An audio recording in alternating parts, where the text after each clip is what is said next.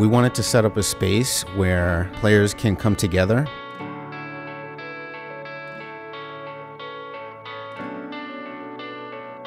In the gaming world, we're always at a disadvantage, obviously not being able to hear.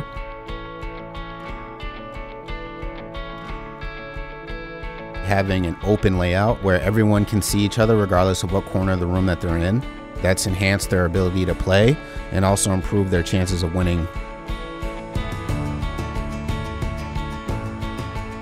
Pretty amazing to have everything that we have in this setup. I personally I enjoy it a lot.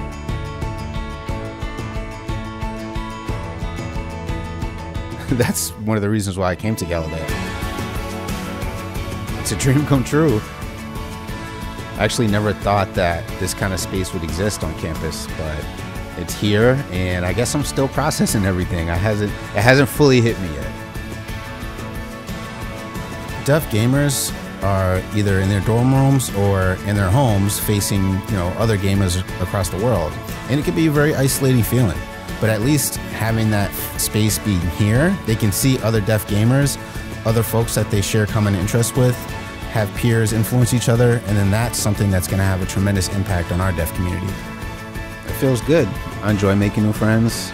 I'm also able to teach my friends how to play these racing games. If you want to have fun and enjoy yourself, come by, check it out.